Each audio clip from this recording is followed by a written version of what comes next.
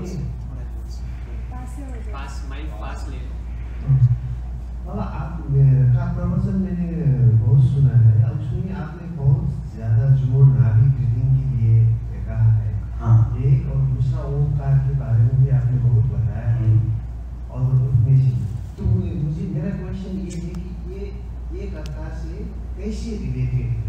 नाभि ब्रीदिंग कैसे ओमकार को हेल्प करते हैं? ओमकार कैसे संसार से को हेल्प करता है? हम्म। यही है मेरा question। समझ तो प्रश्न आपने दोबारा कहो। हाँ ये कह रहे हैं कि आप जैसे ध्यान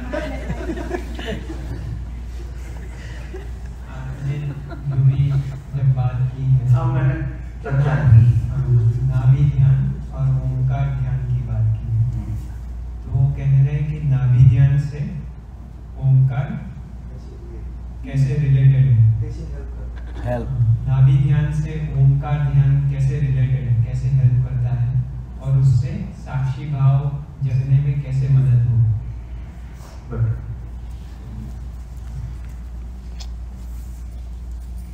वैसे इसका मैंने पूरा विज्ञान अभी कहीं शिविर था उसमें खोला था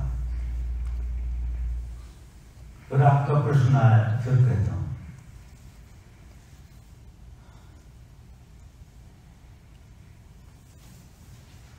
जब हम ध्यान में बैठ रहे थे, तब भी आपको इशारा किया था कि ध्यान में नाभि केंद्र का होश रखते हुए अपन बैठे। तो जो नाद ब्रह्म ध्यान की विधि या ओमकार की विधि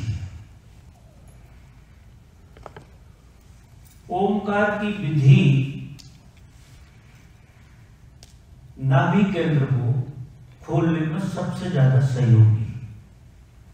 बहुत सहयोग आपको नाभि केंद्र को, क्योंकि सीधा ध्यान तो हमारा जाता नहीं नाभि पे हम अगर बाज़ार में इधर उधर होते हैं तो नाभि छूट जाती है। कारण क्या होता है कि हमें जीने की एक आदत पड़ी हुई है। अधिकतर लोगों के मस्तिष्क में हल्का सा टेंशन बना रहता है, सबके। सबके मस्तिष्क में एक हल्का सा टेंशन होता है। कभी कभी किसी के हृदय में भी ऐसा होता है। उनकी फीलिंग कुछ अलग तरह की होती है। तो हमारा जीवन का जो ढंग है, वो मस्तिष्क में ज़्यादा चढ़ गया।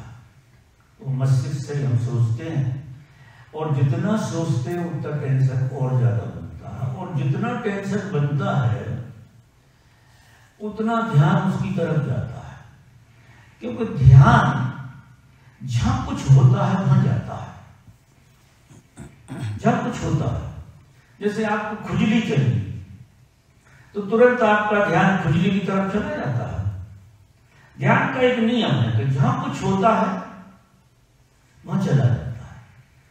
अब ऐसी कोई घटना हमने नाभि में अनुभव नहीं की कि वहाँ कुछ होता हो और हमारा ध्यान उधर जाता। हो वो कोई गैस गैस की बीमारी हो जाए और पेट में दर्द हो, वो अलग बात। वो अलग चीज़ हो जाती है। तो मेरा निवेदन जो है, वो ये है कि ऐसी कोई चीज़ हमें नाभि में पैदा होता है। न चाहते हुए भी हमारा ध्यान मस्तिष्क में रहता है। क्योंकि वहाँ टेंशन बना रहता। वहाँ कोई चीज़ है जो हमारा ध्यान पकड़े ही रहता है उसको मिटाने की कोशिश करता है और वो ध्यान जिस चीज़ पर लगता है, वो चीज़ बढ़ने लगती है। क्योंकि हम ऊर्जा दे रहे हैं उसे तो वो बढ़ने लगती है। जब हम माँ के गर्भ में थे, माँ के गर्भ में तो हमारा माँ से नाभि से जुड़ा हुआ था। माँ और हम करीब एक ही थे। दो शरीर थे, लेकिन हम एक ही थे। क्योंकि जो सोर्स ऑफ़ एनर्जी थी, वो एक थी। वो माँ से आपको प्राप्त हो रही थी, आपको अलग से कुछ नहीं करना पड़ रहा था। और जिस सोर्स से हमें एनर्जी आती हो, उससे हम आत्मसात होंगे, ये निश्चित बात है। जब हमारा जन्म हुआ तो क्या घटा कि हमारी नाभि से वो कनेक्शन छूट गया, टूट गया। फिर हमारा कनेक्शन सांस से हो गया। जब हम माँ की गर्भ में थे तो हम माँ की ही एनर्जी से धड़कते थे। उसी की प्राणवायु से हमारे अंदर धड़कन पड़ती थी, धड़कन पड़ जाती थी। हम कोई सांस नहीं लेते थे। सांस बिल्कुल नहीं लेते थे। और जैसे ही माँ के बाहर आए झटके से हमारे अंदर सांस ने पकड़ लिया। और जैसे ही सांस ने पकड़ा, नाभि से हमारा कनेक्शन बिल्कुल छूट गया। क्योंकि वहाँ कुछ मिल भी नहीं रहा था। और सांस के द्वारा हम कोई अलग ऊर्जा के साथ खेलने लगे और ये सारा संसार फिर उससे पैदा हो गया। आपने जितना आनंद गर्भ में लिया है, जो आनंद की अनुभूति आपको गर्भ में हुई है, वो गजब की है। वो आपके अचेतन में पड़ी हुई है, आप भूल नहीं पा रहे हैं। उसकी याद आती है। और वो ऐसी चीज़ आपको जगत में कहीं मिलती नहीं।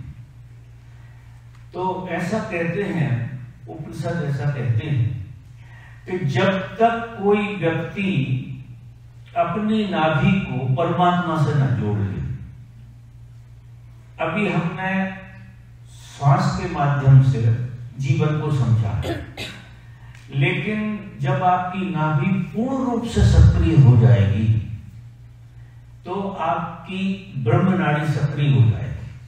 हमारी तीन नाड़ियाँ हैं एक चंद्र है, एक सूर्य है, जो दिखाई देती है, जो संसार के लिए, संसार के लिए, आनंद के लिए नहीं संसार के लिए।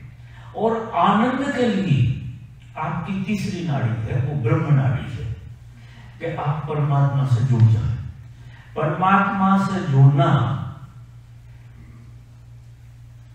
नाभि के माध्यम से होता है। जब नाभि आपकी सक्रिय हो जाती है उसको इतना ध्यान से जीने लगते हैं हम। धीरे धीरे प्रयोग किए जाते हैं। जैसे ओमकार करें। तो ओम की ध्वनि करें। इतनी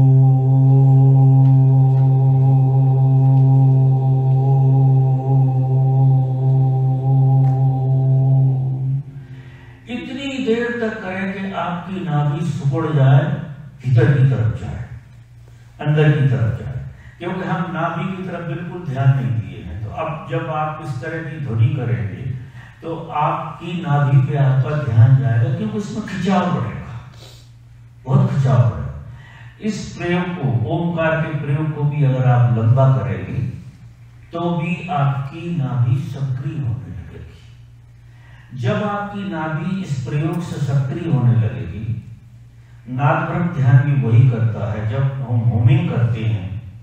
नाक से होमिंग करते हैं तो वो इतनी ज़्यादा बाहर तक फेंको आप, आखिरी सांस को भी मत बचाओ। पूरी सांस को बाहर फेंक दो, आपकी नाभि पूरी की पूरी अंदर घुस जाएगी। और कोई भी ध्यान खाना खाने के डेढ़ से दो घंटे बाद करो। क्योंकि अगर तुम खाना खाने के तुरंत बाद करोगे तो उसका सही लाभ आपको नहीं मिल पाएगा। तो आपको क्या करना है? खाना खाने के डेढ़ दो घंटे बाद करना। कम से कम 45 मिनट कोई भी प्रयोग करना ही पड़ेगा। 40 से 45 मिनट का कोर्स होता है। जैसे नाद ब्रह्म पूरा 45 मिनट का हो जाता है। और जब मैं ओमकार कह रहा हूँ, अगर ये 45 मिनट तुम सीधा करते रहे, जो नाभि खोलने का सबसे ज़बरदस्त उपाय है कि आप ओमकार की ध्वनि कर रहे हैं। एक तो ओमकार की ध्वनि आपके चारों तरफ़ के वातावरण को बदल देगी ओमकार की ध्वनि बहुत ताकतवर ध्वनि है, उसी से ये सारा संसार चल रहा उस ध्वनि को आप कर रहे हैं, वो आप पे छा जाएगी। आपको ऐसा लगेगा जैसे आपको छू रही क्योंकि वो जागृति से आ रही है ध्वनि। आप जागृत उस ध्वनि को सुन रहे हो, वो ख्याल रखना। जब आप उस ध्वनि ध्वनि को कर रहे हैं तो वही पूरा प्रयोग आपको करना है कि आप उस ध्वनि को सुन रहे हैं पूरी। आखिरी तक, जब तक आखिरी ध्वनि रहती है, जैसे हम घंटा बजाते हैं और उस घंटे की ध्वनि को सुनते हैं, बिल्कुल आखिरी तक सुनते हैं, आखिरी तक। और फिर घंटा बजता है, फिर सुनते इस तरह से आप ओमकार को पूरा सुनेंगे। ये कारगर प्रयोग जब ही होता है जब उसकी प्रॉपर विधि होती है। और उसकी जो प्रॉपर विधि है कि हम उस ध्वनि को सुन भी रहे हैं और गहरी से गहरी जाने दे रहे हैं, पूरा बाहर प्राणों को निकाल देते हैं। और ये हमारी ऐसी स्थिति आ जाएगी कि आपका पेट जैसे पीठ से चिपकने लगा ऐसी स्थिति होती है साधकों में ये पूरी आपकी चिपक जाएगी। ये सक्रिय होने लगे सक्रिय होती है तो सबसे मीठी चीज़ आपका नाभि केंद्र है। सबसे मीठा। उसमें इतनी मिठास बन जाएगी कि आपको याद करने की ज़रूरत नहीं पड़ेगी। वो मिठास के कारण, जैसे सरदर्द के कारण आपका ध्यान इधर जाता है, ऐसे ही मिठास के कारण आपका ध्यान यहाँ जाए साक्षी परिणाम साक्षी को साधना नहीं। साधोगे तो मन का ही खेल होगा। वो मन खड़ा हो जाएगा तो मैं साक्षी हूँ। कोई साक्षी बाक्षी नहीं होता है। साक्षी किसी विधि का परिणाम जब आप इस तरह की गहरी विधियाँ करेंगे और आपकी नाभि खुलना शुरू करेगी तो कबीर कहता, कस्तूरी कुंडल बसी मृग ढूंढे बनमा एक कस्तूरी की सुगंध जिस ढंग से हिरण को आती है अपनी नाभि, उस तरह से सतत आपको कोई ऐसी मस्त सुगंध आना आपके भीतर से शुरू हो जाए, जो संभावना आप लिए आप पूरे के पूरे बदल जाएँगे। जब इतनी मस्त सुगंध में आप जिएँगे तो क्या किसी को गाली दे पाओगे? इतना प्रेम जगेगा, इतना जीवन बदलेगा आपको, हर चीज़ यहाँ इतनी सुंदर दिखने लगेगी कि आपका जीवन धन्यता से भर जाए। आप कहोगे जीवन धन्य हो गया, क्योंकि आपकी कस्तूरी आपको मिल गई। और हर आदमी की कस्तूरी उसकी नाभि में है, इसलिए मेरा ज़ोर नाभि केंद्र पे ज़्यादा रहता है कि अगर नाभि केंद्र, और ये सबकी संभावना है, चाहे स्त्री हो, चाहे पुरुष हो कस्तूरी सबके अंदर बैठी हुई। और वो सुगंध, परमात्मा की सुगंध है, जो तुम्हारे अंदर बंद पड़ी हुई है। और तुम छटपटा भी इसलिए रहे कि कभी ये गंध रही होगी, भूल गए, माया में फंस गए। माया का इतना आवरण हो गया कि वो गंध गायब हो गई। जैसे रामचंद्र जी धोखा खा गए तो वो मृग था, वो सोने का मान लिया ऐसे हम हर को सोने की मांग तो भाग रहे हैं। कोई सोने की है नहीं। सोने की खदान तो आप हैं। और आप सोना ढूंढ रहे हैं। वो सोने की खदान आप खुद बैठे हुए हैं। जिस आनंद को, जिस मस्ती को, जिस शांति को आप बाहर ढूंढ रहे हैं। ठीकरों में ढूंढ रहे हैं। वो आप लेके बैठे हुए और जिसकी जाग जाए, उसका खजाना खुल गया ऐसे समझिए। और ये विधि रामबाण है, कारगर है। अगर करके देखो आप, तीन महीना पैतालीस मिनट ओमकार की ध्वनि सुबह और शाम करिए, और नाभि को पूरी की पूरी अंदर तक जाने दीजिए। उठने दीजिए। जन्म जन्म के पाप हो आपके उसकी परवाह मत करिए। आप उल्टे आदमी या सीधे आदमी, इसकी बिल्कुल परवाह मत करिए। आप लग जाइए बस। सही लाइन जब हमें मिल जाती है तो सारी भूलें माफ़ हो जाती जब कोई अच्छे पद पे पहुँच जाता क्या करता था? कौन पूछता है। आपके जितने भी गुण दोष थे जीवन के, वे सब साफ़ हो जाएँगे। और आपके अंदर जो नए आदमी का जन्म हो जाएगा, जिसका पुराने से कुछ तालमेल ही नहीं बैठे। तो अच्छा प्रश्न पूछा आपने ओमकार से ना भी जगेगी वो दोनों एक ही चीज़ है ओमकार साधन की तरह। और जब नाभि जगेगी तो जो सच्चा ओंकार है, जिसे नानक साहब कहते एक ओंकार सतनाम वो बरसेगा आपके चारों तरफ़। वो बरस रहा है अभी भी, लेकिन उसको देखोगे कैसे? इन आँखों से तो दिखता नहीं। इन कानों से सुनाई नहीं दे सकता। इन कानों से तो हमने कोलूहल सुना बोला और इन आँखों से उपद्रव किए वो कोई अलग तरह की आँख जागेगी।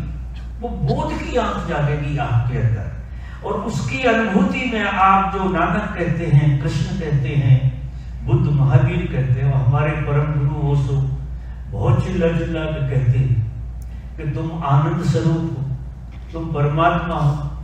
जब हम उनके प्रवचन में जाते थे,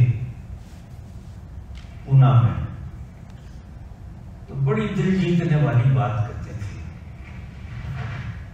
लेक्चर होता था बढ़िया, बहुत मस्ती से भर देते थे सबके लिए। लेक्चर सुनते सुनते ही क्योंकि सुनने की कला भी उन्हें सिखा दी थी कि कैसे मुझे सुनना है, ऐसे मत सुनना।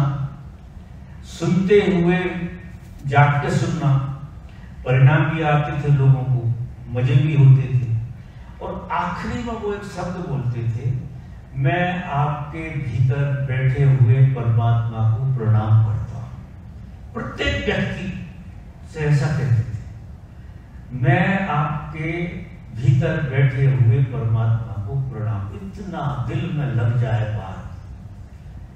जब वो गुरु ऐसी बात कहे तो जो सोया हुआ परमात्मा वो झनकार मार देता था। इतना गजब का उनका खेल था, वो ऐसी विधियाँ हमें छोड़ गए। हमेशा तो कोई रहता नहीं। महापुरुष कुछ करिश्मे छोड़ जाते ओशो ने भी कुछ करिश्मे छोड़ दिए हैं हमारे लिए, जिनका हम सही रूप से उपयोग कर रहे हैं। जो उपयोग कर रहे हैं, उनके जीवन में जितना उपयोग कर रहे हैं, उतना आनंद बन रहा है। निश्चित ही ओसो के सन्यासी संसारियों से ज़्यादा सुखी दिखाई देते हैं मुझे। क्योंकि थोड़ा बहुत तो सौ रुपये का सौ रुपये हाथ में आ ही रहा थोड़ा बहुत। और अगर सच में उनने जैसा कहा है, उस तरह से अगर आप जुट जाओ तो ज़िंदगी निहल हो जाए। तो आप प्रयोग करिए और ओमकार और नाभि केंद्र को खोलना दो चीज़ें नहीं। ओमकार की ध्वनि से भी खुलता, फिर जब नाभि में प्रसाद आने लगेगा तब घंटों आप नाभि में बैठने की कला सीख जाओगे। और आपकी श्वास चले ना चले आपको उसकी परवाही नहीं रहेगी क्योंकि आप एक ऐसी मिठास से आपने देखा होगा कोई कोई साधु, वो तो टेक्निक से सीख जाते, लेकिन असली में भी ऐसा होता है कि बिना श्वास के जी लेते। अब बिना श्वास के जीता तो प्राण कहाँ से आता होगा? वो जो नाभि से जुड़ना होता है वो नाभि उनको प्राण देती रहती है और वो बिना श्वास के ध्यान में घंटों बैठे रहते हैं लोग।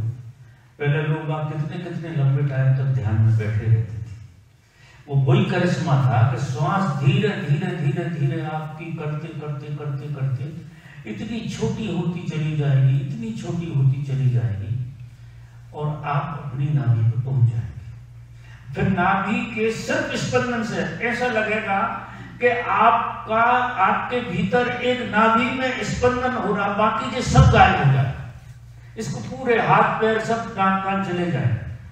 कारण क्या है कि आपकी जो उत्पत्ति हुई है, उसमें पहला पहला जो अणु पैदा हुआ, वो नाभि।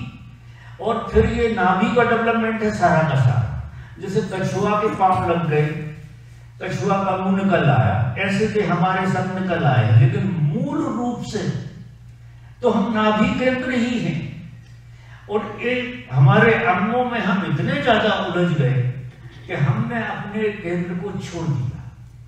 अब वो केंद्र पे वापस आना, वो कला है धर्म, वो कला है ध्यान। तो ध्यान किसी भी तरह के करो।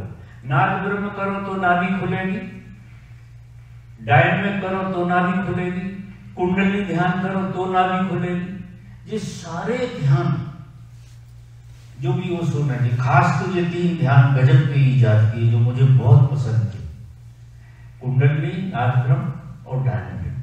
अगर ये तीन ध्यान कोई आदमी लगातार तीन महीना, तीन ध्यान रोज करे, अगर इतना टाइम मिल जाए उसकी ज़िंदगी में।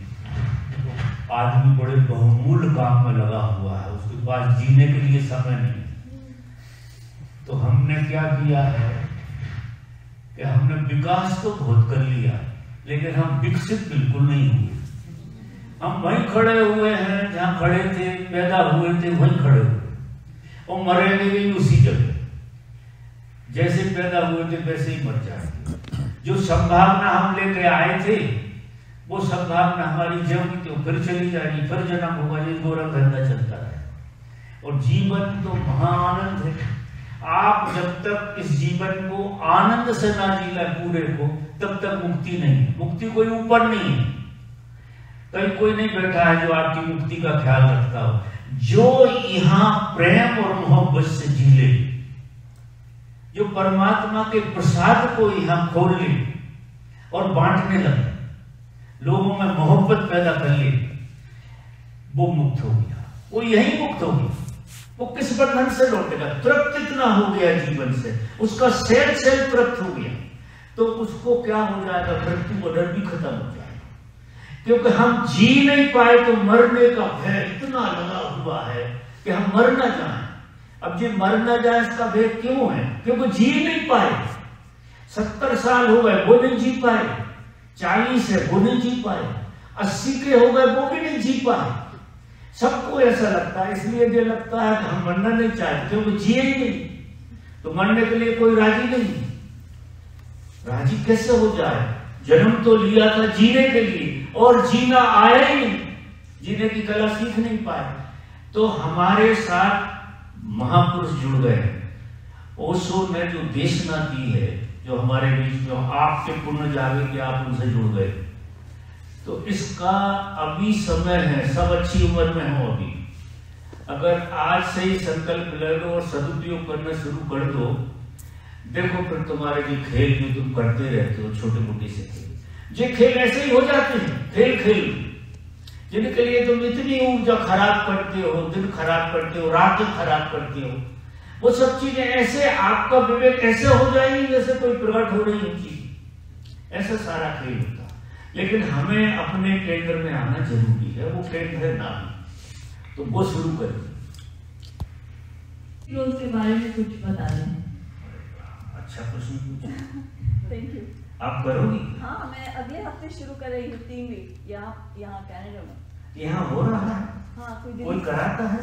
दिल्ली से आ रहे हैं। ओशो पहचानते हैं। स्वामी रवि स्वामी स्वामी रविंद्र भारती आ रहे हैं। यहाँ कोई करा ओशो धाम दिल्ली से स्वामी रविंद्र भारती आ रहे हैं तो हाँ। उन्होंने ये मिस्टिक रोज वो कराएँगे हम्म। वो भी कुछ दिनों में शुरू होगा कितने दिन का 21 डेज़ इक्कीस दिन का है बाबा तीन घंटे का ना? पूरा? पूरा है वो। पूरा कर हाँ पूरा बाबा। इक्कीस दिन का तीन घंटे की। बहुत गजब का ध्यान है। ध्यान है one of the best meditation ऐसे मानिए जो वो ने ईजाद किया है। क्योंकि हमारे जीवन में सबसे ज़्यादा जो दमन हुआ है हमारा, वो हंसने का। तो बच्चा जो होता है, देखो, जब रोता है तो बच्चा रोता हुआ भी बड़ा सुंदर लगता क्योंकि है इतनी मस्ती से रोता है कि अगर बच्चे को ठीक से तुम इधर उधर मत करो, उसे रोने, उसके रोने को देखो। पूरी मस्ती से रोता है। और जब हंसता है तो इतना खिलखिला के हंसता है, इतनी मस्ती से, कि जब रोता है तो रोना हो जाता है, और जब हंसता है तो हंसना हो जाता हो जाता है। मिस्टिक रोज में किसी साक्षी की ज़रूरत नहीं आपको कोई साक्षी रखने की ज़रूरत नहीं है। आप जितना गहरा रो सको, उतना गहरा रो। और जितने गहरे हंस सको। तो ये जो मैं नाभि खोलने की बात मैं बता रहा था, ये सबसे ज़्यादा तो रोने हंसने में खुलती है। आपने देखा होगा जब आप बहुत ज़ोर से हँसते हो, बड़ी देर तक हँसते तो आपका पेट दुखने लगता है। दुखने लगता है। आप पेट पकड़ के हंसने लगते जब बहुत ज़ोर से हँसते और रोते भी जब ज़ोर से, तब भी पेट दुखता है। इसका कारण ये है कि हंसना और रोना दोनों आपको नेचुरल बनाते हैं। क्योंकि ये नेचुरल फिनोमिना है। ये कोई ऐसी बात नहीं। जो हमारे स्वभाव है। हंसना और हमने ऐसे दोनों को अच्छी तरह से दबाया, शब्द समाज में पैदा हो गए तो अच्छी तरह से दबा लिया तो ध्यान एक रखना है कि साक्षी होने की कोशिश मत करना। दूसरी बात, मन बहुत बीमार है। वो अड़ंगे लगाएगा, बहुत अड़ंगे लगाएगा। तीन घंटे तो बहुत हो गए। तो आप जब तीन घंटे का कोई प्रयोग करो तो छह घंटे का माइंड बनाओ कि हम इसे छह घंटे कर सकते हैं। अपने दिमाग में छह घंटे रखो। तीन घंटे का बनाओगे तो वो डेढ़ पे ही आप गड़बड़ हो जाओ डेढ़ पे आओगे तो आपको लगेगा कि अब बंद करता है। तो आपको मन ऐसा बना लेना कि मुझे छह घंटे तक करना। तीन की तो बात है और वो उल्टी सीधी आवाज़ें करके फिर हंसने लगो। कुछ ऐसी अनसंड आवाज़ें कोई सी भी करने लगो फिर हंसने लगो। फिर बंद हो तो और उल्टी सीधी हरकत करके हंसने लगो। लेकिन हंसना बंद नहीं होना। तीन घंटे तक आपको वो करना। फिर ये सात दिन चलेगा लगातार। फिर सात दिन आपको जी भर कर रो लो जिसमें रोने कुछ बचे ही नहीं आगे। जितने लोगों को रोना हो सबको रो लो। इसको भी रोना हो रो लो। लेकिन सबको निपटा लो। दोबारा कोई मिले तो उन्हें देखकर रोने का दिल ना करे। दोबारा कोई मिले तो उनके सामने रोने का दिल ना करे। दोबारा कोई मिले तो उनके सामने हंसने का दिल ना करे। अभी क्या है, हम किसी के सामने हंसने में बड़े मज़े लेते हैं। बस उतने ही हँसते हैं। कोई ऐसी वैसी चीज़ हो जाए तो ही हंस पाते हैं। बाकी सीधे सीधे तो नहीं हँसते। सच में तो नहीं हँसते। माने प्रतिक्रिया में हँसते और इसमें प्रतिक्रिया नहीं है, इसमें क्रिया में हंसना। हमारा रोना भी प्रतिक्रिया है, कोई गलत काम हो गया, हम रोने लगे। किसी ने गाली दे दी, हम रोने लगे। ये प्रतिक्रिया है, ये हंसना नहीं है। ये रिएक्शन आप रिएक्शन में रो रहे रिएक्शन में हंस रहे हैं। अब वहाँ रिएक्शन नहीं वहाँ एक्शन में हंसो जब एक्शन में हंसोगे तो गजब का होश जगेगा आपका। आप आश्चर्य करोगे, मुझे तो पता ही नहीं था कि ऐसा कोई ध्यान होता है। मुझे मालूम नहीं था। जो बाद में ईजाद हुआ है, बाद में ही खुला है। जब हम साधना करते थे, जब हमने इस ध्यान के बारे में कुछ नहीं था। लेकिन पता नहीं कहाँ से ये चीज़ मेरे अंदर पैदा हुई थी। मैं जंगल में ध्यान करता था। बिल्कुल जंगल में। दूर कोई नहीं। लोग डर जा मुझे देख के ऐसी स्थिति में करता था। बिल्कुल अलग थलग सवेरे छह बजे पहुँच जाओ। अंधेरे थोड़ा घूम के। और कभी कभी तो एक कपड़ा पहनना सब कपड़े उतार कर ध्यान कर तो कई लोग डर भी जाए, बाल थोड़े बड़े बड़े थे, हिले तो भूत समझे। अब हु हु करोगे, अकेले डरेंगे। ध्यान हो जाए। एक आदमी ने मेरे से कहा उस गली से मैं बहुत दिन नहीं निकला। क्या हुआ? एक रोज उसी टाइम पे भूता फिर मुझे बाद में पता लगा कि तो आप यहाँ काम करने आ रहा है तो उसने ही बांधा ही चलो तो मुझे पता ही नहीं कब तुम आए थे, कब चले गए। तो आप जो है, बहुत सहयोग बना है आपके लिए तो ज़रूरी है। हंस लो रो लो और फिर हंसने और रोने के बाद जो है बैठना अपने आप हो जाएगा। तो ध्यान ये रखना है कि छह घंटे का निर्णय करके जाना रोने के लिए। हंसने के लिए छह घंटे हंसेंगे तो तीन तो हंस ही लोगे आधे पर हो जाओगे तो तीन हंस हंस लो ऐसे ही रोने का करो और फिर चुपचाप बैठो। और फिर जो है, ध्यान 21 दिन का जब घट जाए, फिर बैठने की प्रैक्टिस करो आप दो दो दो ढाई ढाई घंटे बैठने की। क्योंकि जो चीज़ आपके अंदर खुली है, उसको बाज़ार में नहीं फेंकना, उसे पचाना तो थोड़ा समय हो तो आप दो दो ढाई ढाई घंटे बैठो और उसको आत्मसात होने दो। हम ध्यान तो कर लेते हैं, अब यहाँ तो ऐसा होता है देखो।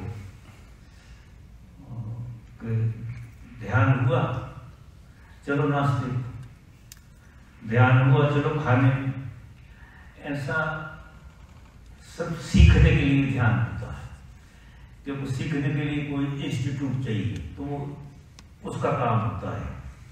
कायदे में कोई भी ध्यान करो, चाहे बंद करो, चाहे कुंडली एक घंटे बैठो उसके बाद। एक घंटे ध्यान को बचाओ। तो परिणाम आए। आपने ध्यान किया इधर, उधर नाश्ते पे चले गए। तुरंत और नाश्ता कर रहे हो, अकेला वो नहीं, फिर गप्पबाजी चल रही वो अलग। तो सब आप रोज कमा रहे हो, रोज फेंक रहे हो। खर्च भी करते ढंग से तो ठीक फेंक रहे हो। तो क्यों परिणाम नहीं आ रहा? है इतने दिनों से लोग ध्यान कर रहे हैं, और परिणाम नहीं आते, मुझे आश्चर्य होता। तो थोड़े से इस महिमा को समझो कि ये साधारण काम नहीं कर रहे कोई मौज मस्ती को नहीं आए हो। ये ध्यान की प्रक्रिया जीवन का रूपांतरण है। इस प्रक्रिया को जो परिणाम आए उसको थोड़ा टाइम तो दो अपने जीने में। जियोगे तो परिणाम आए।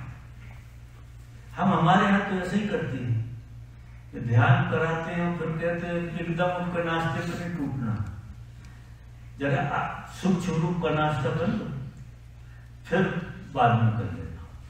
तो तुम हमारे आशीर्वाद बदल के लो और इक्कीस दिन में मत आना। नहीं तुम्हारा मन करेगा, एक आध हफ़्ते बाद। काम नहीं करते हमसे बनेगा नहीं एक बन होता नहीं वो कहेगा, मेरे बस का नहीं। तुम्हारे बस का ही है, इसलिए शुरू हुआ। तो तुम्हें करना। ठीक है मित्रों बहुत बहुत धन्यवाद।